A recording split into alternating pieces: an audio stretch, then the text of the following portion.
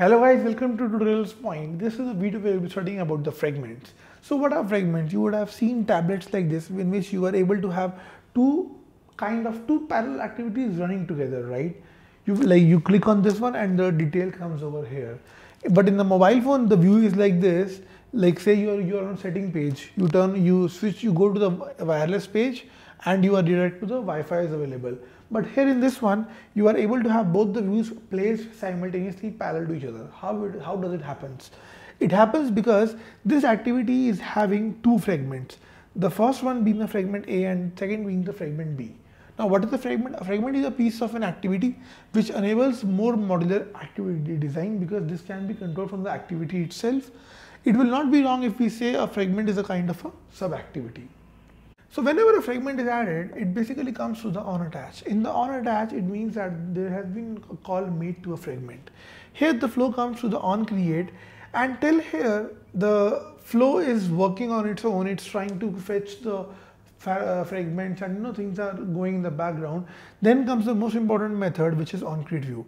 On create view basically is used to create the view. It, it basically is used to inflate the layout which you want to use in our activity over there. This would be returning a view to us. After this, we have the method that is the on activity created. This method is actually called after the view has been successfully created and is ready to be loaded. Then when activity is created, uh, functions or methods of the activity like find view by ID and other activity parameters are live to be used in our own fragment. Then the flow comes to the on start. Here it means that the activity is ready for user interaction. Then the flow comes to on resume. Say like if you have been, uh, if you missed and by chance or uh, if you missed the application last time or you have resumed, you are resuming from previous state, you can use this state to continue, continue your application running to the to the way it was running. Like say if, it, if the application has gone into background, on resume helps you to you know uh, recapture or re uh, get re get your state so that you can continue to use the application where you were running. Say if other activities or, or, other fragments are, are about to come online or are about to take the main space, the flow comes to on pause. Then if it's it's over or if the on pause has been called and we are not and the fragment is not getting used up, then we call the on stop. And after on stop, the view is destroyed. By view destroyed, we, we mean that whatever layout was inflated has been removed or has been dealing and the on destroy is about to be called. Here we are having two options. Either we destroy the view and we recreate a view and we go to the on create view or else we, we go to on destroy which means that the fragment would be destroyed. And in the in the on destroy function or in the on destroy methods, uh, we do uh, functions like you know removing of extra memory or, or any any occupied memory that was there is freed or we you can say a kind of garbage collection is done over here. Then the fragment is detached from the running activity or from the host activity and the fragment is destroyed. So this is a typical life cycle of the fragment. Now let's see at the fragment life cycle methods one by one. So here are the methods that we are having. The first one being the on attach. Basically this is called when an active, uh, this is associated with an activity instance. The fragment and the activity are not fully initial, initialized but yes, there is a reference that yes, the activity will use this fragment for the further work on create. This is called when creating the fragment. We basically initialize essential components that we want to retain when the fragment is paused or stopped and then resume. Basically say you, you think that your fragment is coming from previous state or you are having some data that you want to continue using on. Then you, you use this particular state to reset or to initialize to that particular level. Then is the on create view. This is the callback time. It means that the user interface is being called for the first time we draw the UI how we actually call, we actually return the view component.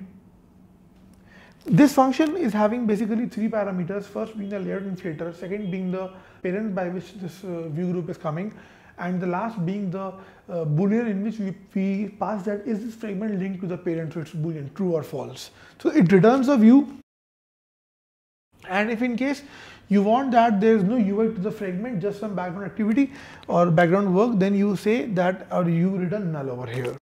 There is on activity created. This is called uh, after the on create uh, view and the host activity is created. Now here you are actually fine to you know use functions and the context and the context objects of the application over here in this on activity created method.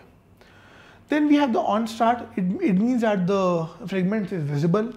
On resume, the fragment becomes active as now ready for work. Then it's on pause. Like say that user is about to leave the fragment and uh, when we like this is just to do that if you want to save some changes that have been made, we do it over here. Then we have the on stop fragment is uh, going to be stopped by calling the on stop method itself.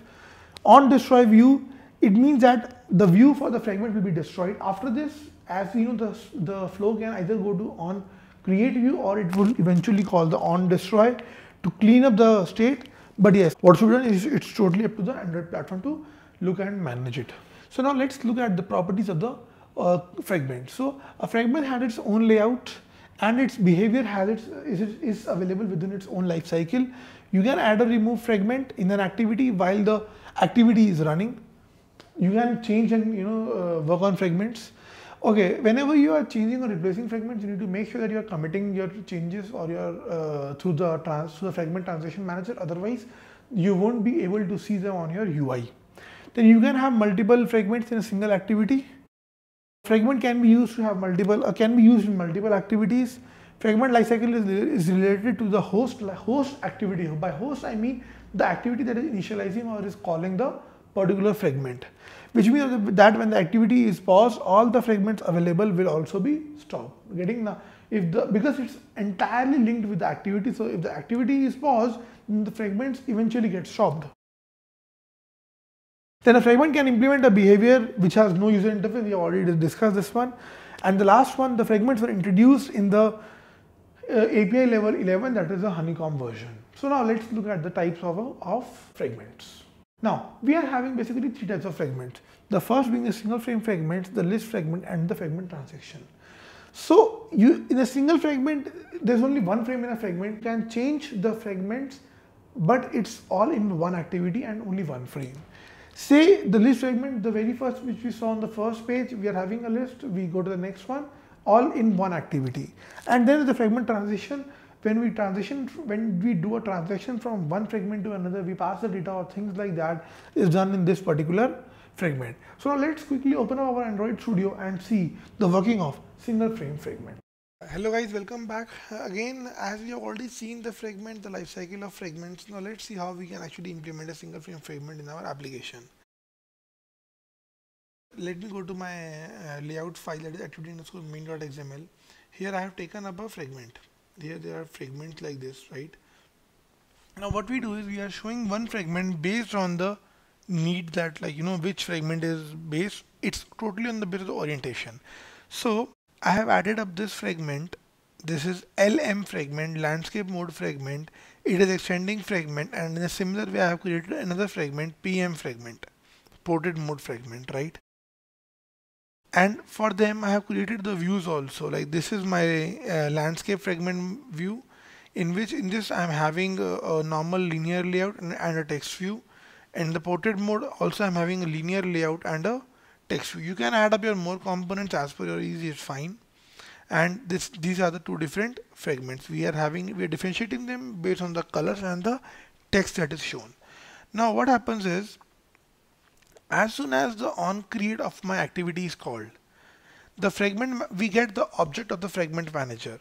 Why we need the object of the fragment manager? Because we need now a transaction between the two fragments like for this I'm changing I'm like if it's in landscape mode right I want the landscape mode fragment over there so for that I change the transaction and for that particular transaction effect I need a fragment transaction so the fragment manager gives me the instance of the transaction and begins the transaction if the transaction has begun I can perform three main operations the add the remove or the replace. In this one, I would be replacing the fragment. Now let's see how. We check the orientation of the screen. Say the orientation is landscape in nature. I make the new instance of the LM uh, of the LM fragment as ls fragment by creating its constructor and call the replace right? So this object of this ls of this lm fragment is passed over here right?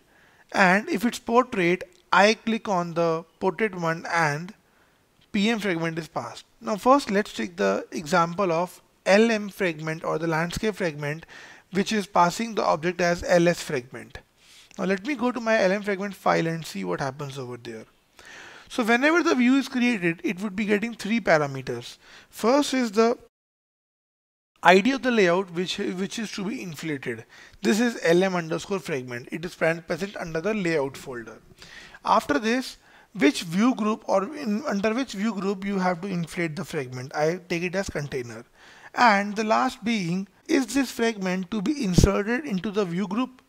I take it as false because I don't want the fragment to be the part of the container view group, right? So this would be returning me a proper view this view is going to here and would be set up.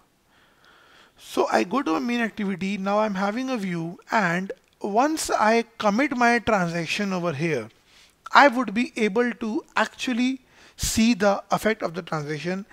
Guys, please note, if you have not committed your transaction, you would not be able to uh, see any changes in the fragment. Fragment uh, transaction committing is is necessary. Without this, you won't be able to have any use or any you know you won't be able to use the fragment thing for that matter. So now say the mode has changed. It again comes into this one and looks okay. There's a replacement. This object is passed over here, and we go to the PM fragment. Here also we have on create view method. We are getting the layout inflator the inflator over here and the container over here. We simply call the inflate method on the inflator using the r.layout.pm uh, fragment and the container or the view group which is linked. And we just simply pass that if the you know if this fragment is to be linked with the root or not I pass it as false so after this I get a view and now I can simply set up this view and would be able to see the effect only after I have performed a commit in my transaction of the fragment. Now where are we getting this orientation from? We are having a configuration class which is which gives me the configuration uh, of the of the screen. We make its object and it gets the configuration for the particular phone that we are using or the device we are using. We check if configuration dot orientation is equal to equal to landscape or if the or else if it's not landscape then it, it has to be portrait there are no other options available. So now with this let me run this application onto my phone and see the result